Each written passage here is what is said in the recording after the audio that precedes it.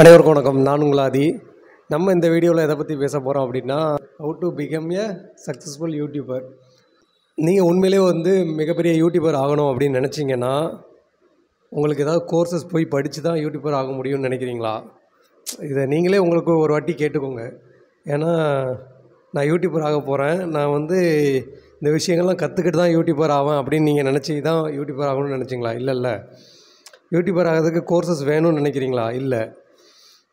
அப்புறம் எதுக்கு அந்த கோர்சஸை வந்து நம்ம பை பண்ணணும்? இதெல்லாம் நீங்கள் கேட்டிங்கனாலே அந்த கோர்சஸை வந்து பை பண்ண மாட்டீங்க. ஆனால் இதெல்லாம் யோசிக்காமல் எப்படியாவது நம்ம வந்து சாதிச்சிட மாட்டோமா அப்படிங்கிறதுக்காண்டி ஒரு ஆர்வத்தில் போயிட்டு அந்த கோர்ஸை வந்து நம்ம செலக்ட் பண்ணிட்டோம்னு வச்சுக்கோங்களேன். அது ஒரு மிகப்பெரிய முட்டாள்தனம். அந்த முட்டாள்தனத்தை நான் ஆல்ரெடி பண்ணிட்டேன். அதனால தான் இந்த வீடியோ நான் வந்து மேக் பண்ணுறேன் ஏன் அப்படின்னா ஏகப்பட்ட யூடியூபர்ஸ் இருக்காங்க. அவங்க யாருமே இந்த மாதிரி ஒரு கோர்ஸை வந்து போய் பை பண்ணி படித்து மேலே வரல. ஆனால் இந்த மாதிரி ஒரு கோர்ஸை இப்படி தயாரித்து அதை பேமெண்ட் ஆக்கணும் அப்படிங்கிற ஒரு திங்கிங் வந்து எப்படி வந்திருக்குன்னு பார்த்தீங்களா?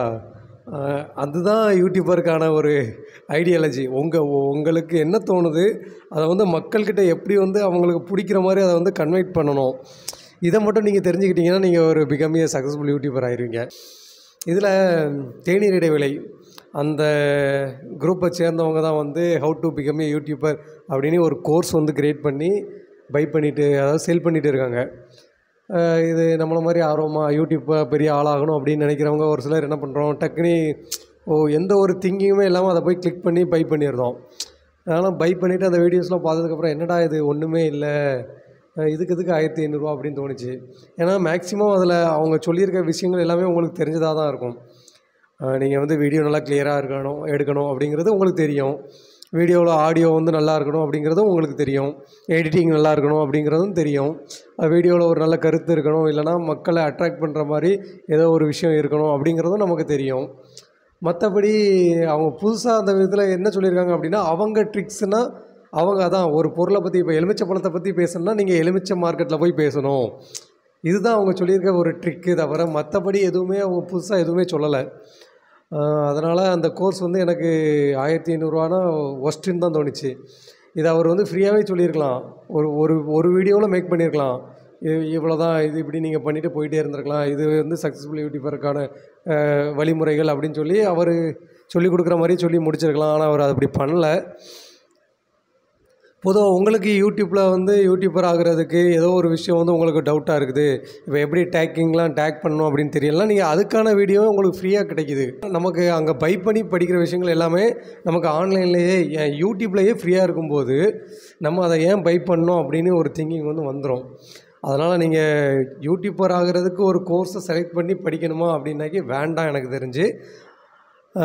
இது யூடியூபர் ஆகணுங்கிறதுக்கு மட்டும் இல்லை. இப்போ நிறைய கோர்சஸ் வந்து ஆன்லைன் கோர்சஸ் வந்து சொல்லி கொடுத்துட்டு இருக்காங்க. பேமெண்ட் பண்ணி. அஃப்லைட் மார்க்கெட்டிங் கோர்ஸ் இருக்குது அப்புறம் வேறு என்ன கோர்சஸ்லாம் வந்து நான் படிக்கணும்னு நினச்சேன் ஆனால் படிக்கலை. வேறு என்ன கோர்சஸ்லாம் இருந்ததுன்னா ஷேர் மார்க்கெட்டில் பணம் சம்பாதிப்பது எப்படி?